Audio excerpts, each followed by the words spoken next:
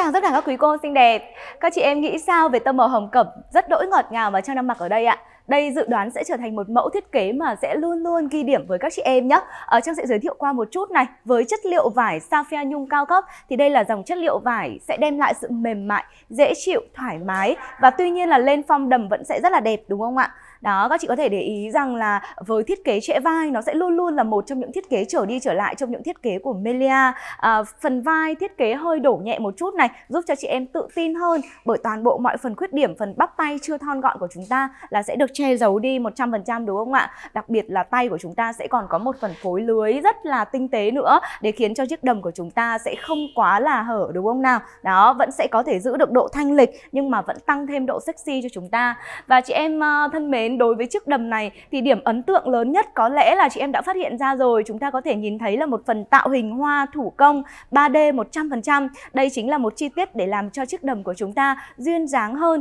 có sức lôi cuốn hơn và sẽ tạo điểm nhấn hơn rất là nhiều. Và với mẫu đầm này thì điều mà Trang cảm thấy uh, rất tuyệt vời đấy chính là sẽ đem lại cho chị em được một cảm giác cực kỳ tôn eo. Khi toàn bộ mọi khuyết điểm phần eo chưa thon gọn của chúng ta sẽ được che giấu đi bởi những đường xếp đánh ly vô cùng là khéo léo luôn. Uh, các chị có thể để ý rằng từng bước di chuyển đi lại của em Trang rất là nhẹ nhàng nhờ một chất liệu vải đẹp và cũng như chúng ta sẽ sở hữu được một phần xẻ tà vô cùng tuyệt vời đúng không ạ? Với tông màu sắc đẹp, với chất liệu vải đẹp và với tính ứng dụng cao, chị em có thể lựa chọn uh, thiết kế này của Melia đi tới bất kỳ nơi đâu hoặc bất kỳ mọi sự kiện nào. Một buổi tiệc nhẹ nhàng với một thần thái tự tin và xinh đẹp nhất hoặc chị em có thể đơn giản nhẹ nhàng mặc đi làm chẳng hạn hay đi đến những buổi cà phê trà chiều với bạn bè. Có đúng là không có lý do gì để chúng ta có thể nói lời từ chối với thiết kế này của Melia đúng không ạ? Và các chị ơi, còn chần chờ gì mà không sắp xếp chút thời gian của mình để có thể ghé thăm tất cả các hệ thống showroom của Melia trên toàn quốc hoặc nếu như các quý cô xinh đẹp của Trang, các chị không có thời gian thì đừng lo lắng nhé.